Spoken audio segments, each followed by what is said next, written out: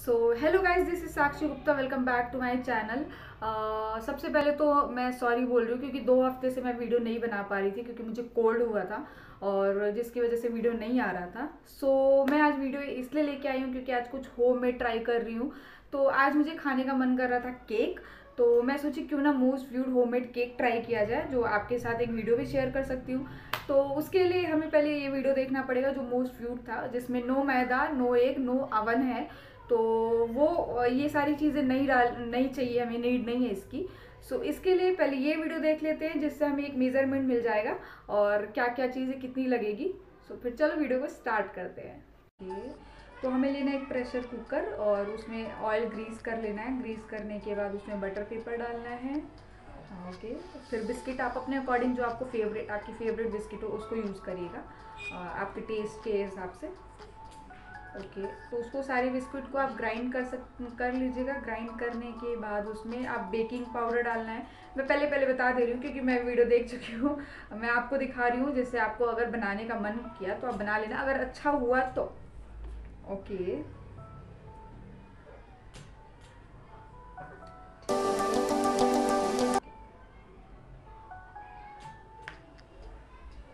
तो इसमें आपको बस कुछ ही चीज़ डालें जिसमें आपको बेकिंग पाउडर चाहिए, मिल्क तो आपको चाहिए ही चाहिए, और बिस्किट आप अपने अकॉर्डिंग जो भी आपको अच्छा लगे वो डालना, और नहीं चाहिए ऐसा कुछ भी एक्स्ट्रा नीड नहीं है इसमें।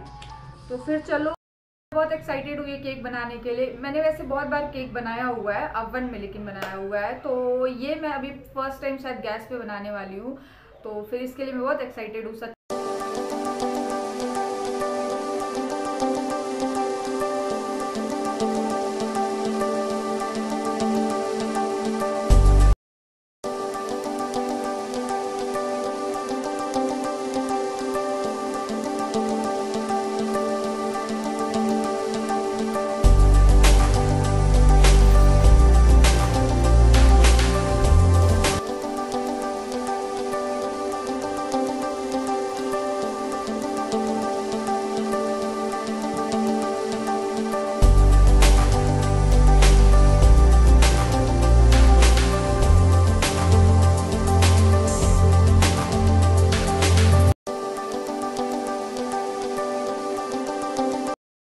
सो हेलो गाइस मेरा केक बन रहा है और बन के रेडी होने वाला है। 40 मिनट उसमें लिखा हुआ था कि 40 मिनट आपको गैस पे रखना है। मैंने 40 मिनट पूरे गैस पे रखे हुए हैं और मैं आपको दिखाती हूँ 40 मिनट के बाद। So guys are you excited for homemade cake मैं दिखाऊँ आपको। आफ्टर 40 मिनट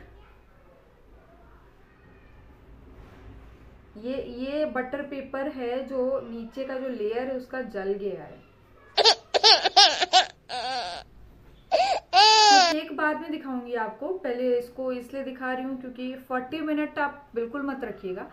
आप 15 मिनट में मैं बीच बीच में ऐसे चेक भी कर रही थी तब तक वो नहीं जला था लेकिन फिर मैं सोची नहीं 40 मिनट रखते हैं क्योंकि उसमें उन्होंने बताया है तो 40 मिनट तो रखना पड़ेगा। तो मैंने रखा हुआ है तो मेरा केक ये है। नहीं ये केक नहीं है। ये बटर पेपर पे जो नीचे का लेयर वो निकल के आया इस पर केक देखना है ना? खाती हूँ।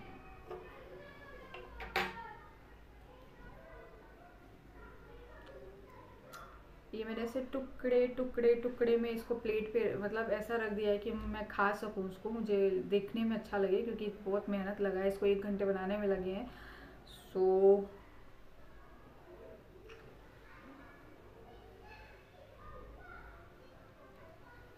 मुझे केक बिल्कुल पसंद नहीं आया। नहीं टेस्ट इसका मैं बता सकती हूँ टेस्ट कैसा है, लेकिन ये ये ये ऊपर का लेयर ऐसा है अच्छा लग रहा है ऊपर का लेयर देखने में, और ऑब्वियसली बिस्किट तो अच्छा लगेगा। इस टेस्ट में अच्छा था बिस्किट का टेस्ट आ रहा था स्पंज भी हुआ था, जितना होना चाहिए था। मैं बहुत कम क्वांटिटी में बनाई थी ट्राई करने के लिए। आप उसको ज़्यादा बना सकते हो लेकिन प्लीज़ 40 मिनट बिल्कुल मत रखना क्योंकि 40 मिनट रखने के बाद नीचे का लेयर एकदम ख़राब हो जाएगा ऊपर का अच्छा बना है अब मेरा तो टूट टूट गया है क्योंकि शायद कम क्वांटिटी में था इसलिए। सो so, अगर वीडियो आपको अच्छी लगी है तो लाइक कर देना। वीडियो अच्छी लगी है तो सब्सक्राइब कर देना लाइक कमेंट करना मत भूलना।